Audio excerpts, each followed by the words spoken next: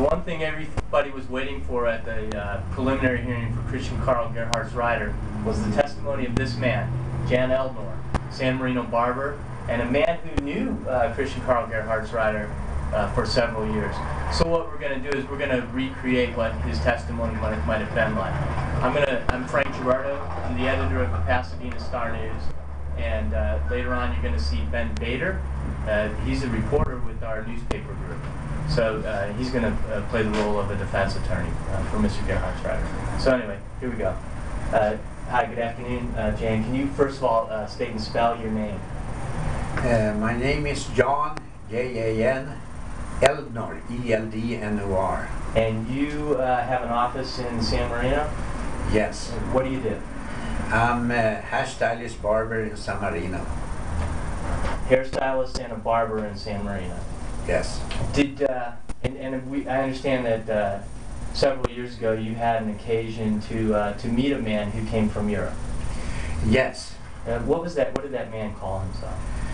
He called him Christopher Chichester. If, if I were to show you a picture of that man, would you recognize him? Yes, Is this the man? that's the man, correct. About what year was it that you first met uh, Mr. Christopher They Chichester? must have been around 81. 1981. Right. And, and what was the occasion? Ja, he was uh, recommended by uh, a well-known man in San Marino named uh, Ken Veranda. And he had tell him to go to me because I was from Europe and he might had interest to meet me. Did he speak any languages other than English? Uh, he just speak English and for sure with a real British accent. He spoke English with a British accent. Yes. And uh, over the course of uh, several years, how many times a week or a month did you happen to see him? Oh, he used to come to me once, once a month or twice a month. But he often dropped by- my shop in the morning just to sit here to read the paper and uh, get in contact with my customers. Uh, did you know where he was living when you first met him? I don't know what he was living. He said different places that he was in San Marino, but he even mentioned that he was in Alhambra and San Gabriel.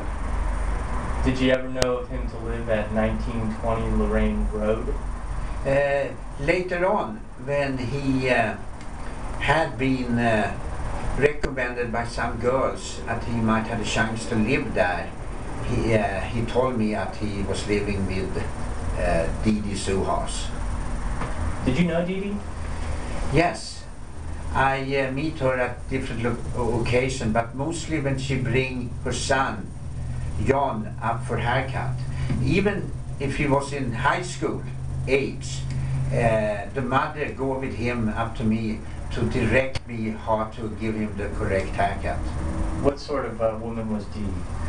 Oh, she was a woman who, even you know, after school three in the afternoon, seems to already have start have her drinks or medicine or something like that.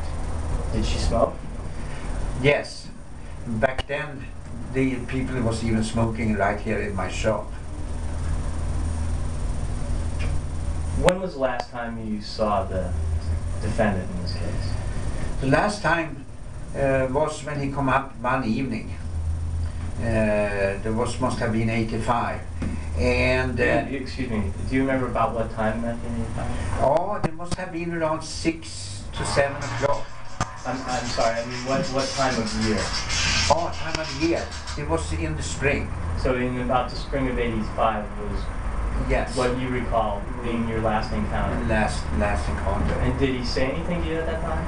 Oh, he told me that this be my last haircut, and I asked why, and he told me that he had get a call from London, England, and an important relative have died, and he have to go to England next morning to take care of a big estate, and I asked him. Uh, when are you coming back? And he said, well, I might never come back because it's a big estate and I have to spend rest of my life in England. Do you remember if he was driving or if he walked here? Uh, what I remember, he was driving, and uh, what I recall, it could have been mostly the truck. And did you see the truck? Uh, that evening, I don't see the truck, but I have seen him driving the truck before. Let's describe. Let's go back a step. Uh, do you know you you had seen him driving this truck? Yes. And what sort of truck was it? Oh, it was, uh, you know, uh, oh, was it a Datsun or Toyota? But it was uh, one of the Japanese smaller trucks, And and this is a pickup truck. a pickup truck. And did this truck belong to uh, the man you knew as uh, Christopher Chichester? There was not uh, belonging to him, but I think Didi Sohus let him drive the truck, who was really uh, the son's truck. So, and about what time did she start letting him drive it? What, about what year? There must have been when uh, he uh, he and his wife left San Marino, and the truck was just here, and it must have been for sure in uh, 1985. Okay, uh, nothing further. Thank you.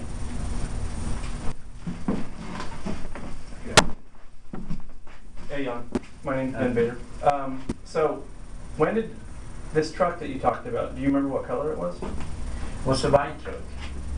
And do you remember if it? You didn't. Did you know the make, like the brand? Oh, not really. They could have been Toyota or Datsun. Okay. Now, um, had you seen him in a different car before that?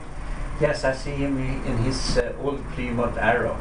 The Plymouth. What kind of? What does that car look like? Oh, there was a car with different colors. Both the, oh, they had a different color on the all the fenders and doors and everything like that. It was really a put together car, You mean like it was beat up? uh, beat Or- up and uh, repaired with different parts. Okay. So there was a car which, if you dri- drive that in San Marino, you mostly get stopped and questioned.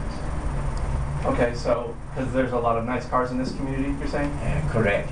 Okay. So, the truck. You said you saw him with it before. About when did you see him?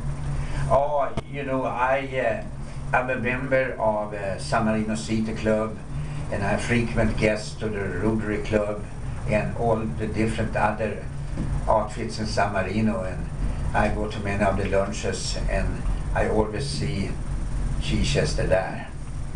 Okay. Now this truck that you. Uh, do you? Do you remember anything else specific about the truck? I, but uh, what I what I recall was that there was, you know, uh, John Sohus truck. It was not not a truck who belongs to Chichester. Okay. And um, you also spoke about the final conversation you had with Mr. Chichester, and who you knew as Mr. Chichester. Right. Um, how specifically do you remember that? Did he, did he say London? Did he say where he was going in London? He don't say where he was going in London. He just say London, England. Okay. And did he seem? What was it? Did he seem happy to go? Sad to go?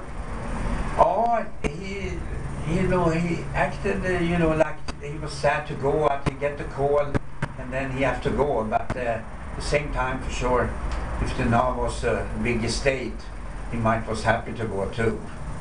So did he see like he wasn't trying to hide that he was leaving at all? No, he had tell other people in San Marino si- a similar story about England. Okay. So every people who knew him generally knew he was about to leave, Uh, yes, and it wasn't a secret. no. That's all.